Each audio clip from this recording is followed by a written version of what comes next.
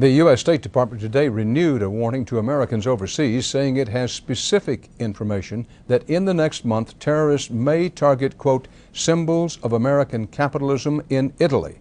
And as CBS's Tom Fenton reports tonight, there is mounting evidence of similar plots elsewhere in Europe. Following a number of recent arrests, French investigators say they now have proof that a top deputy of Osama bin Laden ordered attacks on American targets in Paris. Djamel Beghal, now in French custody, told investigators he received instructions to plan a new terrorist operation during a trip to Afghanistan in March. Although Beghal's lawyer said tonight his client now denies receiving such orders.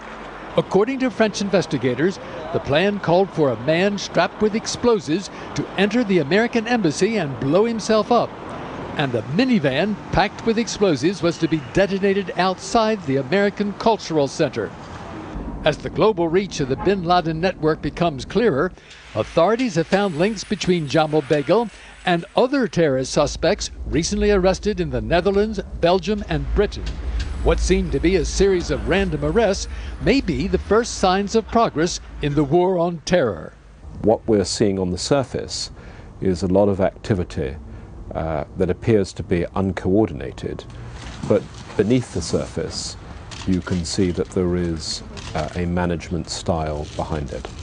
A style that includes a growing FBI presence overseas. In fact, the FBI has beefed up its presence in a number of places around the world. 30 of its international offices are now actively pursuing leads, including here in Germany, where about a dozen agents are working with German investigators. Tom Fenton, CBS News, Hamburg, Germany.